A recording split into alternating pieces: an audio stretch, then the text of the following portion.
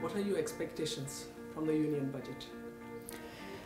Well, union budget has uh, of 2016 has a task cut out already through the vision uh, that the government has already laid down, uh, which includes creation of 100 smart cities, and it also talks about um, housing for all by 2022. Now, um, in order to achieve that vision, there are plethora of uh, measures that need to be taken now and uh, which include regulatory measures as well as budgetary measures. Uh, my expectation from 2016 budget is that we kickstart the process by providing for those measures in the budget itself. What's your take on the demand for an industry status for the real estate sector? I think yes, this has been a long pending demand from the industry, uh, from real estate, that it should be given an industry status and it deserves to be given an industry status given the fact that it is the second largest employer in the country after agriculture. How will the industry status help the sector? Well, there are many things that an industry status will do.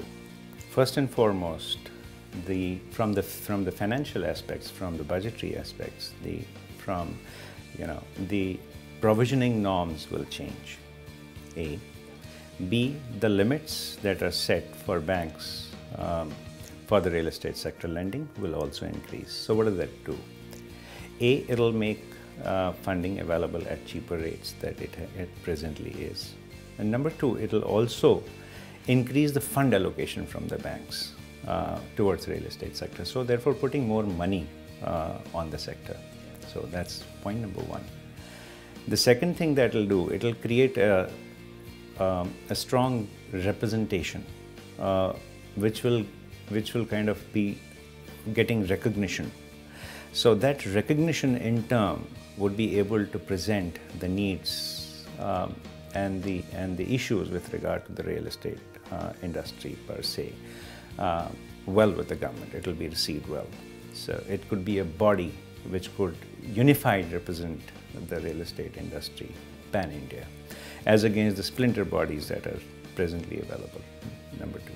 Number three there could be a regulatory framework which will get created, which will be uniform again, whereby bringing in transparency in the processes and a unifying uh, uh, approach with regard to the real estate.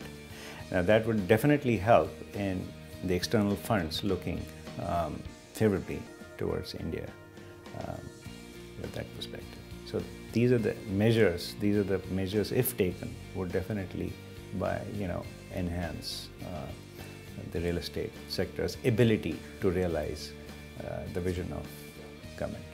Your view on the single window clearance concept for the sector? We would love to have single window clearance. In fact, um, um, that's been one of the points where uh, that's been one of the pain points rather, where projects get delayed because of having run from table to table for for approvals. I think uh, single window clearance will be extremely good for the industry.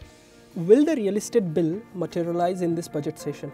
Yes, I think much has much work has been done.